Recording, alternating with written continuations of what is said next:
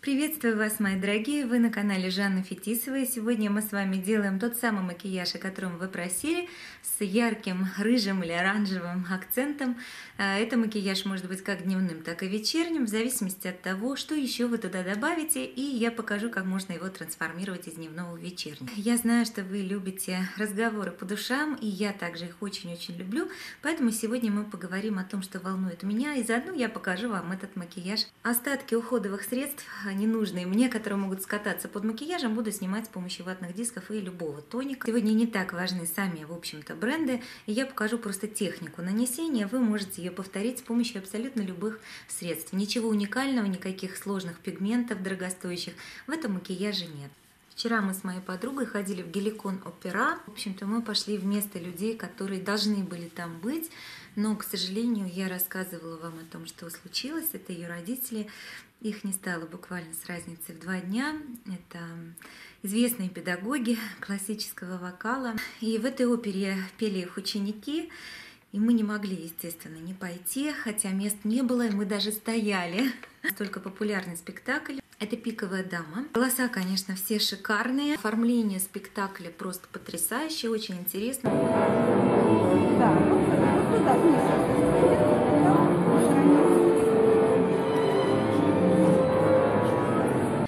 оркестр расположен на самой сцене, и получается, что опера идет а, на фоне самого оркестра. Это очень здорово, очень красиво, потому что все, естественно, одеты соответственно эпохе, а, и оркестранты в том числе во фраках красиво.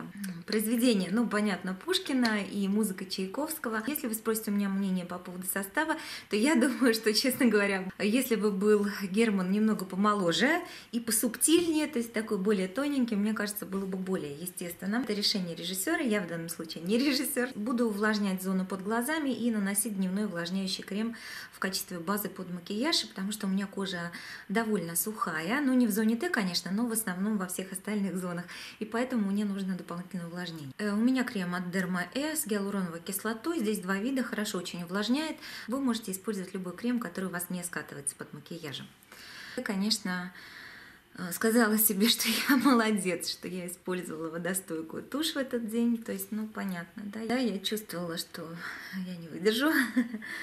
И ничего не потекло, чему я очень рада, потому что не хотелось бы все-таки еще больше расстраивать мою подругу. Я там все-таки должна была быть в качестве поддержки. Ну, понятно, что я живой человек, и, и, и все может быть, и для меня это тоже не чужие люди. Она живет в Америке уже давным-давно, в Портленде.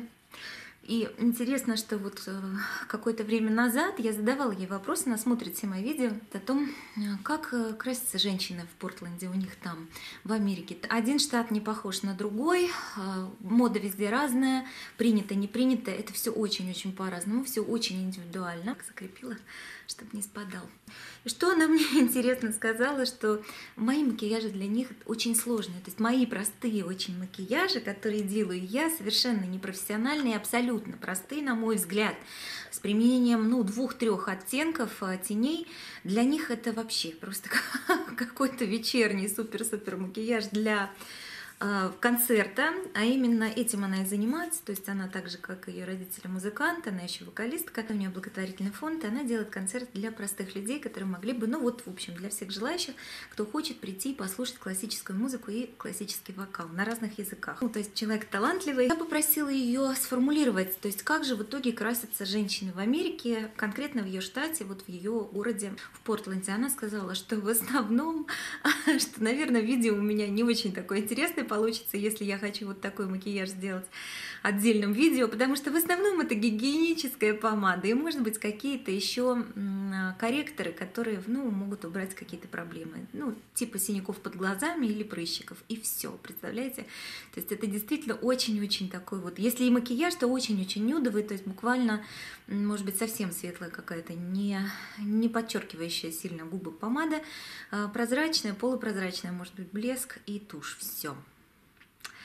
И, в принципе, все те же самые бренды, которые популярны у нас, масс-маркет, популярны также у них. Так что русские женщины это просто удивительно, как красятся по сравнению с американками. Яркий макияж у них носят только люди, ну, женщины специфической профессии, скажем так, либо э, трансвеститы, вот таким вот образом. Так что делайте выводы аккуратнее с макияжем. Так, буду смешивать тональное средство. Оно довольно увлажняющее, такой имеет э, влажный финиш с, э, с люминайзером на любителя. И делать это абсолютно не обязательно, уж тем более, если у вас жирная кожа, и так она блестит. Но у меня, я этим не страдаю, у меня кожа не жирная, поэтому я люблю вот такой вот вариант а, естественного такого сияния красивого. Я, конечно, люблю макияжи очень быстрые, несложные, как вы уже поняли, да, потому что, ну, не всегда есть время, не всегда есть желание вот так долго сидеть и а, копаться с какими-то пигментами. Я, конечно, всегда рада и с удовольствием смотрю такие видео, но, видимо, я не настолько фанат этого дела, чтобы сидеть часами наносить макияж. Тональное покрытие, видите, оно не ложится маской, это покрытие, оно довольно легкое получается за счет того, что до этого был нанесен увлажняющий крем. И еще я добавила каплю люминайзера. Точечки какие-то, которые мне не нравятся сегодня на моем лице. Вчера я бралась вот так вот на руку в театре, и, соответственно, вот здесь и здесь, где пальцами грязными держалась, там и выскочили какие-то высыпания. High Coverage Concealer Камуфляж от Catrice, он мне поможет скрыть какие-то недостатки. Теперь припудриваю шариками. Вы можете использовать абсолютно любую пудру. Кстати, очень неплохие кисточки от Эльфа. Присмотритесь к ним, Анастасия Herb. Очень, видите, такие прямо мягкие, хорошо набитые, пушистенькие. Если я собираюсь наносить какую-то более матовую помаду, ну, такую стойкую на весь вечер, я обязательно скрабирую губы.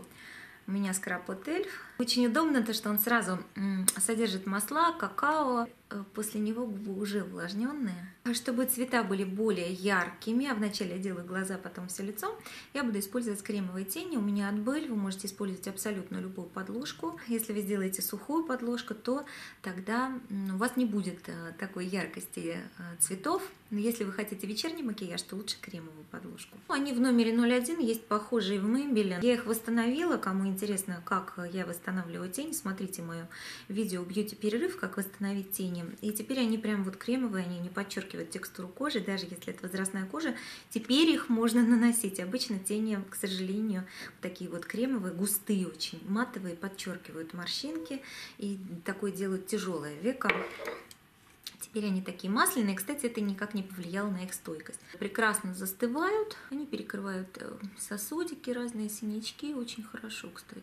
Знаете, хотела поговорить с вами о том, почему мы не можем нравиться всем людям, почему есть те, кому мы не нравимся, даже если мы стараемся быть, ну вот прям правильными, правильными, хорошими, добрыми, всем помогать. Естественно, что все люди разные. И даже если вы будете идеально красивым, даже если вы будете я не знаю, мисс Вселенная, э, мистер мира, все равно найдутся те, кому вы не будете нравиться. Сейчас мы говорим больше даже о характере, о том, какое вы оставляете впечатление о себе, когда вы общаетесь с людьми. Вот сейчас просто на примере даже вот моего канала, да, я когда открывала этот канал, это была абсолютно идея в начале моих учеников, но я, в общем, в первом видео вам говорила об этом. А первое видео у меня о том, как сделать массаж лица э, для такого вот омоложения, немножко подтяжки. Кто не видел, посмотрите.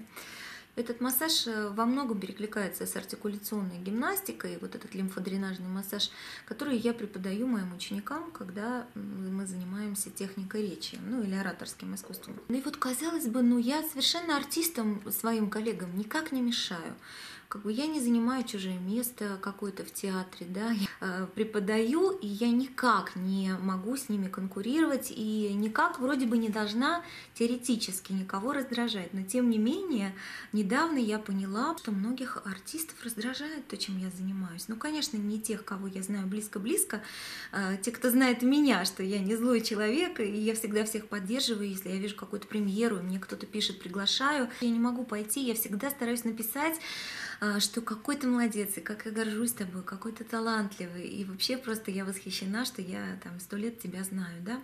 Но даже при всем при том, что я могу говорить вот такие вот слова, и я хорошо себя чувствую по поводу таланта других людей, именно потому что я педагог, то есть меня наоборот восхищает.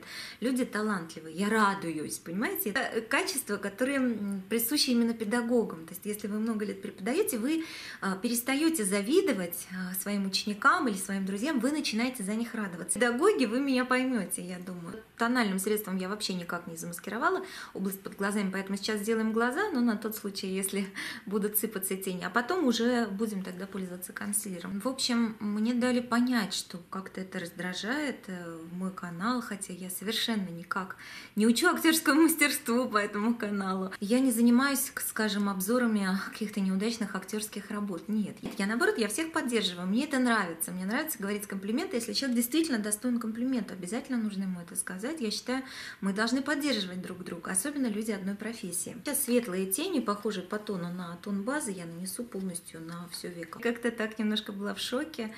Эм, да, я была поражена, что, оказывается, я раздражаю, мне дали это понять, причем совершенно неизвестная мне актер, актриса, неважно, назвав меня вот пришла звезда YouTube. Дискутировать на эту тему, естественно, я не стала, просто вежливо улыбнулась и ушла. То есть мы можем заниматься какой угодно совершенно нейтральной деятельностью, которая, в принципе, теоретически не должна никого раздражать, и все равно можем быть центром негативных каких-то эмоций. И по сути, это не то, что нормально, но это имеет место быть. Когда-то я в каком-то определенном возрасте поняла, что я не буду нравиться всем, как бы мне это не хотелось. Если я буду всем служить, всем помогать и всем изо всех все делать, да, и даже те же самые люди, которым я вот так вот буду помогать, все равно они могут быть неблагодарны, и все равно я могу им не нравиться. Немножко оливковый такой оттенок, буду заполнять брови. Все эти продукты есть в моем проекте «Использовать по максимуму». В принципе, если кого-то интересуют конкретные цвета, названия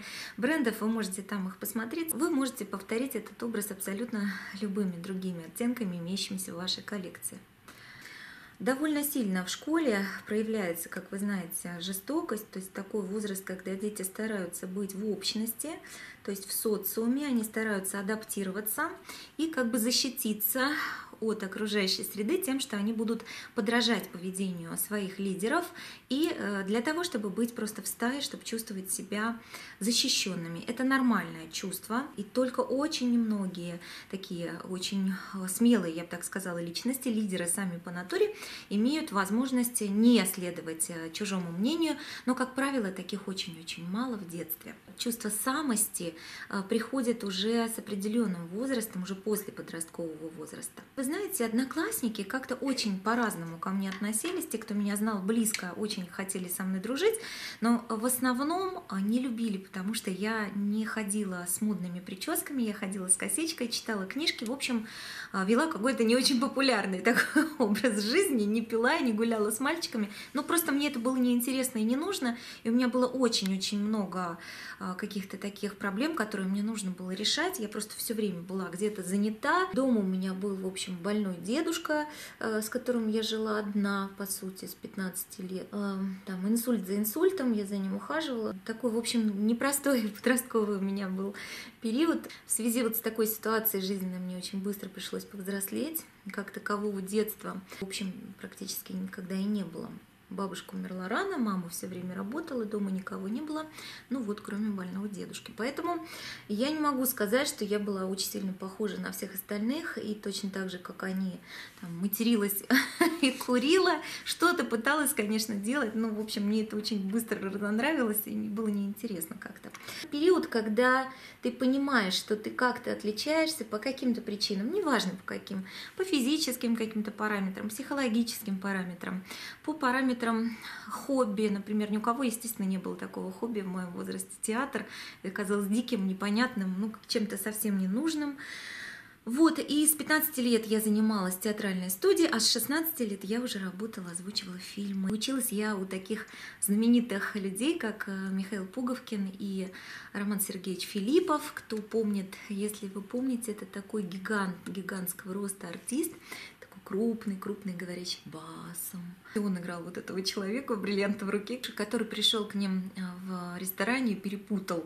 Э, говорил, Сенька, ты что усы сбрил? Такой крупный гигант с очень красивым басом. Он довольно много снимался, и он очень, он был очень хорошим педагогом в ГИТИСе. Он меня как раз приглашал туда. Ну, так случилось, что его не стало, когда я поступала, увы.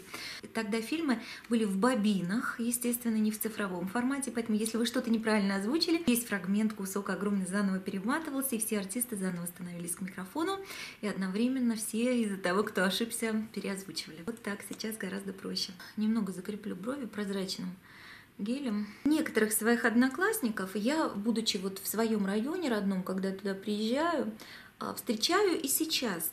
И многих я даже не узнаю, то есть настолько люди сильно изменились, и они ко мне подходят, говорят, что узнали, ну там где-то меня видели, еще что-то смотрели, может быть, видео смотрели. Это совсем другое уже, естественно, отношение. Те, кого, например, раньше просто раздражало то, что я как-то слишком правильно причесана, ну, по тем временам, да, когда все уже делали какие-то химии, а, конечно, я их раздражала. А сейчас нет, сейчас они как-то прям так радостно со мной общаются, ну и понятно, в общем, почему. То есть люди с возрастом меняются. И я понимаю, что я абсолютно не должна, и сейчас не должна нравиться всем, и тогда не должна была.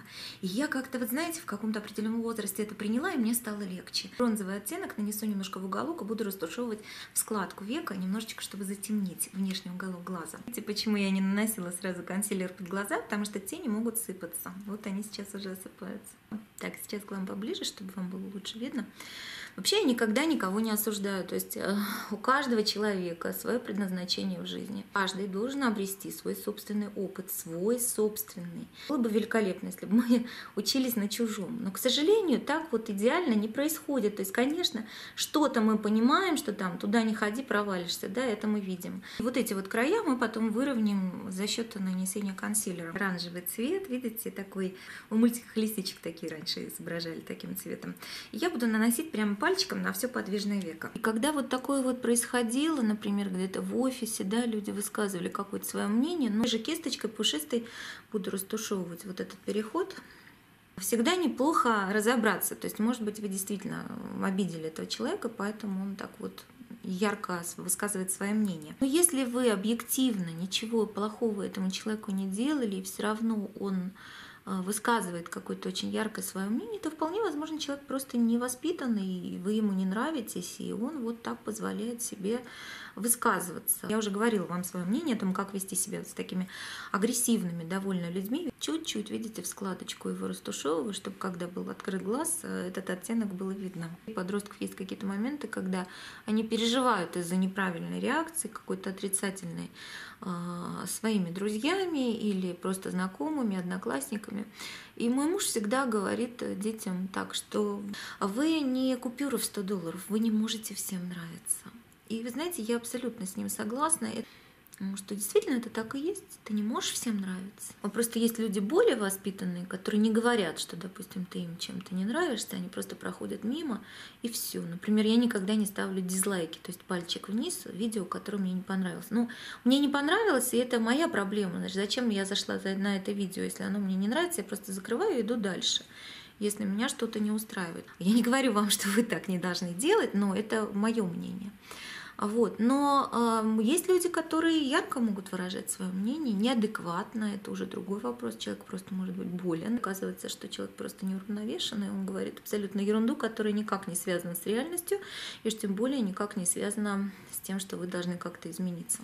Например, у нас была такая ситуация с дочкой, она некоторое время занималась восточными танцами, мы ехали с ней на концерт, она должна была выступать, и, естественно, я ее поддерживала, и она волновалась. И мы, в общем, недалеко выступали как раз от нашего дома, ехали просто даже в маршрутке. То есть там у нас такой концертный зал есть, очень популярный. Ансамбль известный у них, и поэтому они снимают такие очень хорошие концертные залы. Опять чуть-чуть добавлю вот этого бронзового в складку, чтобы она была более темной много. Гримерных не так много, артистов море. Мы понимаем, что нам ну, по дороге нужно что-то такое из макияжа уже выполнить. И мы так быстренько в маршрутке что-то делаю. Наносит какую-то помаду, еще что-то, чтобы просто быстро прийти, переодеться и сразу на сцену.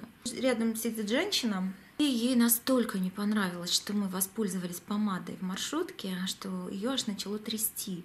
И она начала нам говорить, вы страшные, вы страшные. Э, наверное, если бы человек ехал не уверенный в себе, или какой-то вот просто подросток или ребенок, у него была потом, конечно, дикая депрессия после такой, после такой вот тети. Ну, как бы ехала я. Я поняла, в чем дело. То есть я увидела, у женщины, видимо, шизофрения, она не принимает таблетки. Ну, в общем, человек был болен. Это было для меня очевидно, хотя она выглядела вполне нормально. Не была никак не ухожена, не накрашена. Но в целом, в общем, внешне она была одета, ну, нормально, стандартно. Я поняла, что нужно удаляться быстрее из этой маршрутки. Мы доехали с трудом, в общем, доехали до конца. Мой уголок делать вот такой вот акцент темный буквально немножко как стрелочку. Выдели немножко реснички у края и чуть-чуть в уголок положу этот темный шоколадный. Честно говоря, я думала, что все закончится, как только мы выйдем, но она бежала за нами и что-то кричала. Слава богу, дочка еще была в таком возрасте, когда ей можно было сказать срочно заткни уши и не слушай. Вот сейчас-то уже бы она, наверное, сама что-то сказала в ответ этой женщине. Но тогда она просто заткнула уши, спряталась так за меня и стояла, ждала, когда это все закончится. И эта женщина не могла успокоиться, она повторяла одни и те же слова, и тогда я поняла, что, наверное, у нее сыпется, да, что, наверное, у нее какой-то приступ, вероятнее всего, она не успокоится. Пришлось вытащить баллончик. Я носила с собой а, со слезоточивым газом. Ну, я ни разу им, честно говоря, не воспользовалась, слава богу. Ставила этот баллончик прям вот так перед ее носом и сказала, женщина, успокойтесь, это слезоточивый газ. И если вы сейчас не замолчите, мне придется пшикнуть. У нее был такой остановленный взгляд, она сколько-то секунд подумала, подумала, развернулась и побежала в метро. И потом увидели эту даму в нашем районе, как она натравливает свою собаку на детей. Вот. Что такое может быть, что не все здоровы, кто высказывает свои отрицательные мнения. Это не значит, что если мы кому-то не нравимся, то все остальные сумасшедшие. Очень смешно говорила бабушка моего мужа. Она была очень таким известным деятелем в Украине. И она говорила, шутила, говорила, что ну разве вы не видите, что все вокруг сумасшедшие, только мы нормальные. Ну, конечно, это не так. В каждом отрицательном отзыве есть доля правды. То есть, возможно, над чем-то стоит поработать в себе. Чтобы сделать более ровную тушевку наверху, я возьму светлый оттенок и вот здесь вот буду чуть-чуть подтушевывать. Конечно, я не хочу сказать, что все, кто нас критикует, все сумасшедшие. Но, возможно, не стоит так сильно волноваться по этому поводу. Возможно, что люди абсолютно не объективны, и вы попались просто под горячую руку, и это совсем не относится лично к вам. Например, человек находится на работе, и его все раздражает. Возможно, вы раздражаете не вы конкретно, а работа в целом. То есть он просто недоволен своей работой, такое тоже может быть. Видите, если наслоить чуть-чуть еще кисточкой, он будет ярче цвет. Абсолютно любой человек э, и дворник может высказать вам свое мнение и имеет право. Вопрос только в том, а будете ли вы болезненно реагировать на каждое мнение, или вы спокойно повернетесь, скажете, это имело место быть, и пойдете дальше. И ногти все у меня уже в тенях и под глазом тоже вот так.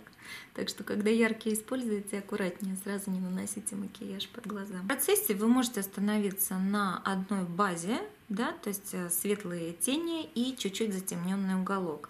Далее вы можете еще сильнее затемнить уголок, это будет более вечерний макияж, однако оставить века светлым. Любой яркий акцент вы можете положить сверху, это будет третий вариант, более яркий уже вечерний макияж, возможно на какое-то мероприятие даже дневной, если вы положите вот сюда, видите, яркий просто оттенок. Если стрелку вы усилите, сделаете ее, например, черным лайнером или каким-то цветным, это будет уже четвертый вариант макияжа. Но я сегодня хочу остановиться вот на такой дымчатой стрелочке, которую я делаю с помощью теней. Перламутровые тени добавлю в уголок глаза, вот сюда.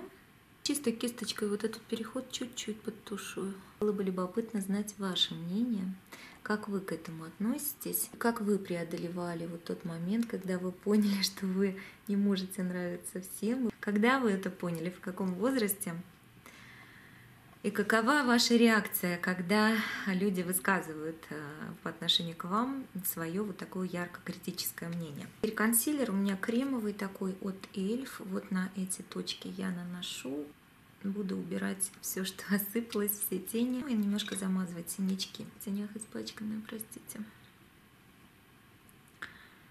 Вот так. Такой вот корректирующий оттенок положу. Чтобы его не сильно было видно, но все-таки, чтобы он подчеркивал глаз. Перламутровый продлеваем. Ну, только очень важно, чтобы он не попал ни в какие складочки, морщинки, потому что перламутр очень сильно их будет подчеркивать. Вниз мы кладем тот же самый оранжевый, буквально чуть-чуть, и сразу растушевываем. Вот так. Было каких-то странных несколько ответов на ваши отзывы. И, в общем, отзывы ваши я ценю, и вас очень ценю, и уважаю своего зрителя. Ну, Поэтому этих пользователей, которые позволяли себе делать хамские комментарии на ваши отзывы, я, я заблокировала просто, честно говоря. Я не хочу, чтобы вы расстраивались как-то. Я вас ценю, я вам благодарна за ваше внимание, поэтому я буду дальше вас оберегать. Уж простите, не все отзывы я буду а, опубликовывать. Вот такой вот макияж глаз получается. Красить реснички. Это база Тавалайн, вы можете пользоваться, можете не пользоваться. У меня она есть, поэтому я ее использую. Я видела, многим пишут, ну, прям совсем такие хамские отзывы. У меня, слава богу, лично относящиеся ко мне таких не было. Люди, наверное, которые напиваются, матерятся и смотрят видео в процессе всего этого, ко мне, наверное, на канал не заходят. Им просто, ну, неинтересно то, что я говорю. Может быть, некоторые даже не понимают, что я говорю. И это нормально. Каждый человек находится на своем уровне, имеет право высказывать свое мнение. И это нормально, и я никогда никого не осуждаю, это их жизнь, это их выбор, то мы имеем это абсолютно то, что мы заслужили. Такие люди, слава богу, меня не смотрят. Но есть женщины-блогеры, которые, вот, к сожалению, вызывают просто какое-то море негативизма. До конца даже и понять невозможно, почему, но вот как-то притягивают они таких людей. Я даже спрашивала их, задавала им вопрос, как они справляются вот с такими моментами, когда им пишут комментарии, вот, вот такие хамские, матом и очень негативные. И многие отвечали мне, блогеры, и у них по много тысяч подписчиков, они отвечали мне, что они уже научились не обращать внимания. То есть YouTube это такая вот площадка, которая во многом учит устойчивости такой психологической. То есть это такая вот антистрессовая тренировка. Вместо увлажнителя буду использовать плампер у меня уже все впиталось в губы. Не принят закон о том, что все должны обязательно заполнить свой профиль, то есть чтобы он не был пустой. А, именно те люди, которые пишут вот такие вот хамские комментарии, да, я смотрела с чужих страниц, переходила на их странички, и я понимаю, что у них ничего нет на сайте. Даже нет понравившихся им видео, то есть они полностью скрываются, они специально на YouTube а, открывают канал, а, потому что они хотят хамить. Так что это тоже не повод вам расстраиваться. Есть много вот таких людей, которым просто хочется кому-нибудь нахамить, испортить настроение и получают от этого удовольствие. Это не значит, что вы им даже не нравитесь это значит только то, что они дурно воспитаны. Но чтобы понять все это, нужны годы и годы. Поэтому бедные наши подростки, конечно, наши дети. Буду припудривать все лицо метеоритами. Конечно, наши дети и подростки, они очень-очень нуждаются в нашей поддержке, в том, чтобы мы много говорили им об их достоинствах, а, свои недостатки они и так знают. Ну, конечно, если вы ни разу им не говорили, что они разбрасывают вещи или там, не знаю, ходят в грязной одежде, это плохо, и надо это сказать. В процессе социализации, конечно же, им это поможет. Лучше, если это скажем, естественно, мы родители, нежели работодатель, который потом за это их уволит. Я тренировала довольно большие коллективы, и в некоторых случаях мне даже приходилось говорить по поводу имиджа, ну и, естественно, когда я говорю по поводу речи, дикции всего остального, по поводу того, как должен выглядеть менеджер, мне приходится говорить и по поводу внешности. Любые тени или пудру подходящего оттенка буду использовать в качестве контуринга. Это Дэмини вы можете можете использовать абсолютно любые другие. И да, мне приходилось говорить с менеджерами даже о том, что стоит и нужно стирать одежду, проверять, чтобы она вкусно пахла и пользоваться дезодорантом, что это тоже очень важно. Если они хотят придержаться на той работе, которая им нравится, они должны, соответственно, выглядеть, потому что они проводят переговоры с клиентами, и они не имеют права просто дурно пахнуть или там быть в какой-то грязной мятой одежде, что они должны это знать. И раз мне приходилось это говорить, это значит, что с ними не говорили об этом в детстве, либо говорили, но как-то, может быть, стеснительно, либо они подражали своим родителям. Ну, в общем, говорите об этом, пожалуйста, своим детям, не стесняйтесь, найдите правильные слова, потому что они потом будут от этого страдать на работе, их будут просто увольнять. Так что это наша с вами родительская задача. Теперь буду использовать бронзер, перекрываю контуринг вот так. Ну, сейчас я делаю это, естественно, дольше, чем обычно, потому что я с вами разговариваю, естественно. Для меня это рядовой макияж, ничего сложного, что вы легко можете его повторить. Этот макияж похож на все остальные, которые я вам показывала, просто он с ярким акцентом. Румян буквально каплю, просто чтобы освежить лицо. Чуть-чуть к вискам все поднимаю. Чтобы макияж был в одном тоне, я добавляю слегка э, в складочку века те же самые румяна, которые наносила на щечки. Чуть-чуть, видите, шоколадный этот цвет смягчается румянами таким розоватым оттенком. Получается такой более нежный, элегантный вариант. А можно сделать более яркие губы, можно более светлые. Я повторю прошлый свой макияж, поэтому я делаю яркие губы. Буду использовать карандаш от Golden Rose. Вначале такой прям кремовый-кремовый. Знаете, но это все очень обманно, потом застывает просто намертво. Цвет на самом деле он красный, в камере он оранжевый. Вообще в камере все рыжит. Этот оттенок, который наношу на брови, в камере может казаться рыжим. Но на самом деле он почти оливковый. Филы от Chanel Rouge Allure. Буду наносить 102 оттенок. А помады эти очень-очень кремовые, но они мне нравятся тем, что они не сушат губы. И поэтому карандаш, нанесенный перед этим на всю поверхность губ, будет уберегать эти помады от растекания, особенно если есть морщинки. Вот такой образ у нас с вами получается. Осталось добавить немного хайлайтера. На мой взгляд, это будет не лишним, поскольку макияж мы все-таки планируем вечерний или новогодний вариант. Так что давайте чуть-чуть добавим блеска. Я за многофункциональность, поэтому я использую те же самые перламутровые тени. Вот так. Если есть морщинки вокруг глаз, то лучше натянуть кожу. Я вам рассказывала да, об этом ну что ж, вот такой у нас с вами сегодня образ получился. Вы хотели видеть, как я делаю макияж. Очевидно, что он не слишком сложный, его можно трансформировать.